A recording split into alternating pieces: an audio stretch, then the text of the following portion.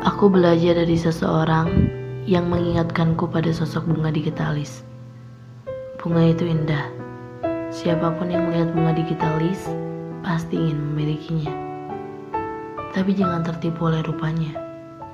Meski indah, dia memiliki racun yang sangat mematikan. Sama halnya seperti orang itu. Aku terlalu terlena pada sosoknya yang selalu datang menghampiri di setiap aku terpuruk. Sampai pada akhirnya aku bergantung padanya.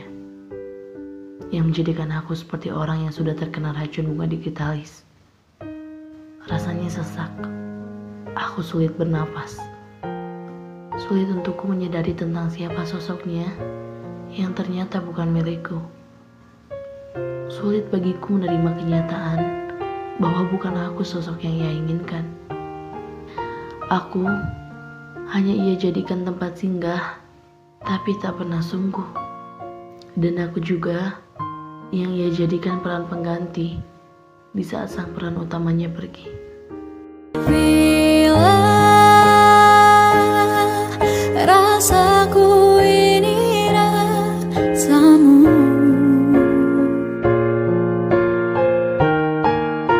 Sanggupkah engkau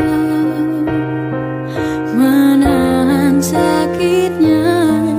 Terhianati cinta